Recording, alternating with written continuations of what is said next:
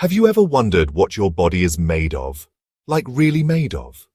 Let's shrink down to the microscopic level and take a journey into the incredible world of the cell. Every living thing, plants, animals, humans, even bacteria, is made up of cells, and these cells, they're not just empty bubbles. They're buzzing with activity, almost like tiny cities where each part or organelle plays a special role to keep everything running smoothly. So whether you're looking at a leaf or your own skin under a microscope, you're looking at an entire world of organized chaos. Welcome to Cell City.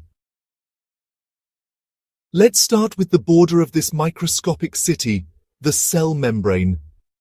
It's like the protective wall around a castle or the security gate at the airport. The cell membrane is a thin but tough outer layer that controls what comes in and what goes out.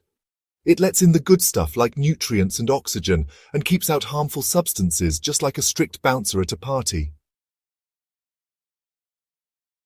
Inside the cell, everything floats in a jelly-like fluid called the cytoplasm. Think of the cytoplasm as the roads, the sidewalks, and the public spaces where all the organelles are placed and move around. It's not just a filler, it's where chemical reactions happen, where materials are transported and where the whole city stays alive and busy. Right at the center of the cell is a large round structure that looks like a boss's office. That's the nucleus, the control center or brain of the cell. The nucleus holds your DNA, which is like the instruction manual or blueprint for everything your body does. DNA tells the cell how to grow, how to divide, and even what kind of cell it's going to be. If the cell were a company, the nucleus would be the CEO giving out orders to the departments. Inside the nucleus, you'll also find the nucleolus, which is like a smaller office that produces ribosomes, tiny but mighty structures that build proteins. Speaking of ribosomes, these little dots are either floating freely in the cytoplasm or stuck onto a network of folded membranes called the endoplasmic reticulum, or ER for short. The ER is like a giant conveyor belt system. It comes in two versions, the rough ER, which has ribosomes attached to it and helps with building and transporting proteins, and the smooth ER, which doesn't have ribosomes and focuses on making fats and detoxifying chemicals. If you imagine a factory, the rough ER is the production line where workers assemble parts, and the smooth ER is where lipids or fats are made and harmful waste is processed. These two ERs work together like departments in a big manufacturing plant. Once the proteins are made, they're not just left lying around. They need to be packaged, labeled, and shipped to the right place. That's where the Golgi apparatus comes in. This organelle looks like a stack of pancakes or folded ribbons and acts like the cell's post office or packaging center. It modifies proteins, adds tags to them so they go to the right destination, and then packs them into small vesicles that transport them within the cell or send them outside. It's kind of like the Amazon fulfillment center of the cell, receiving, packaging, labeling, and shipping 24-7. But none of this activity could happen without energy, right?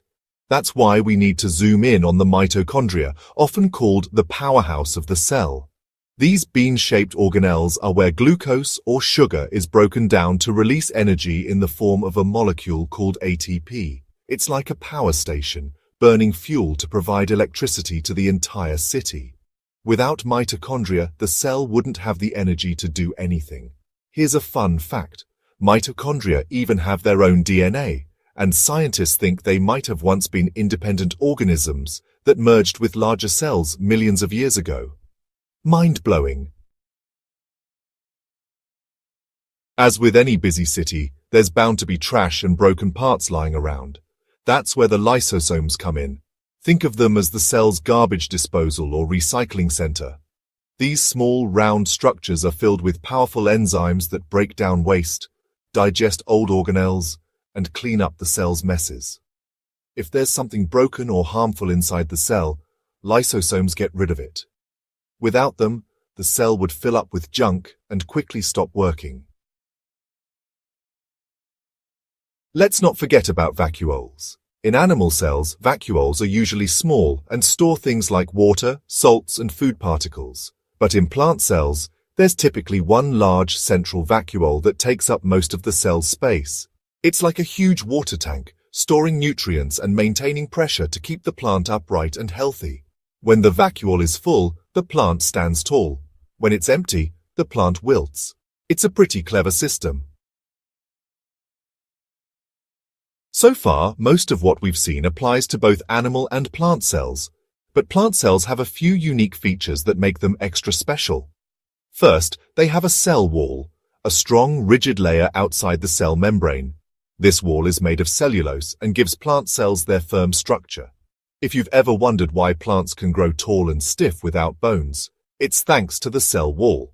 It also helps protect the cell from damage and maintains its shape, kind of like a brick wall supporting a building.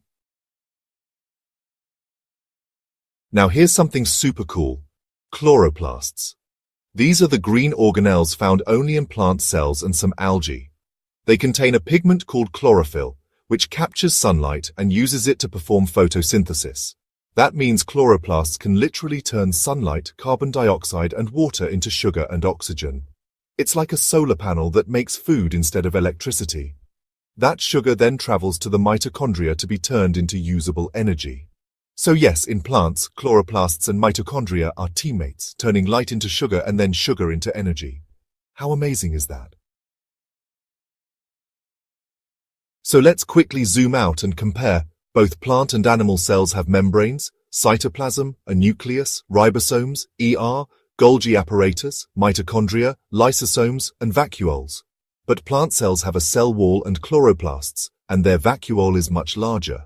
That's why plant cells look more rectangular under a microscope, while animal cells are more rounded and flexible. Throughout this journey, we've seen how a cell is not just a random blob. It's an organized, efficient, and incredibly complex system. The nucleus runs the show, the ribosomes and ER make the products, the Golgi packages them, the mitochondria power it all, the lysosomes clean up, and the vacuoles store supplies. In plant cells, the chloroplasts capture sunlight, and the cell wall keeps everything standing tall. Together, they create a living, breathing city, one so small we need a microscope to see it, but so vital that life wouldn't exist without it. And now it's your turn to think like a cell scientist. Which organelle do you think is the most important? Is it the mitochondria powering every move, the nucleus giving out orders, or maybe the chloroplasts making food from sunlight. Let us know what you think in the comments below. We'd love to hear your opinion. And if you enjoyed this tiny tour through Cell City, don't forget to like, subscribe, and hit that bell icon